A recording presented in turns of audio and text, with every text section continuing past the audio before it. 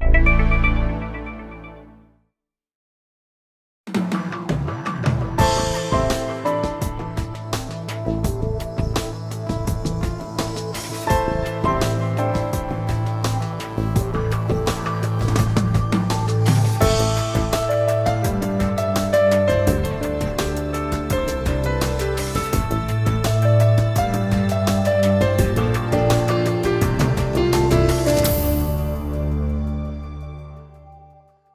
Trauma surgeons are using high-tech tools to virtually see inside patients without having to cut them, saving patients time, money, and most of all, pain. Surgeons now have a new way to teach this to other doctors. KTVU Health and Science editor John Fowler joins us now to explain. John? Trauma surgeons at San Francisco General say this technique can dramatically decrease what's called surgical trauma to already injured patients. Next to San Francisco General's respected trauma center in a 96-year-old brick building, a former tuberculosis ward. Doctors are perfecting 21st century computer-aided trauma surgery. We got an exclusive look inside the soon to officially open Orthopedic Trauma Institute.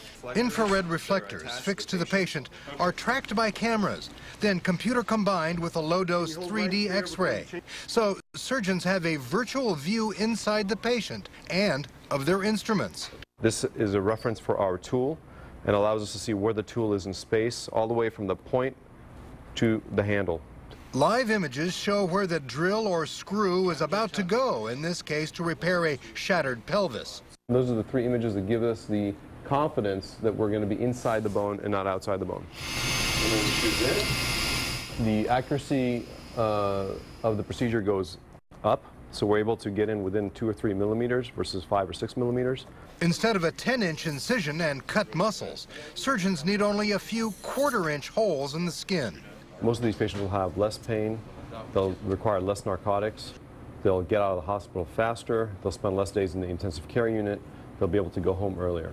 The Orthopedic Trauma Institute, funded largely with physician donations, is a new joint UCSF and San Francisco General program where experts such as Dr. Matityahu can teach state-of-the-art techniques to other surgeons. They can take the surgeons into the uh, simulated operating room conditions and then provide them with the types of hands-on training that they need to export this sort of technology back into their practice.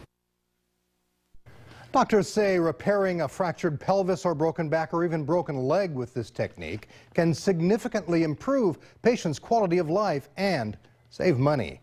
Reporting live, Health and Science Editor John Fowler, KTVU Channel 2 News.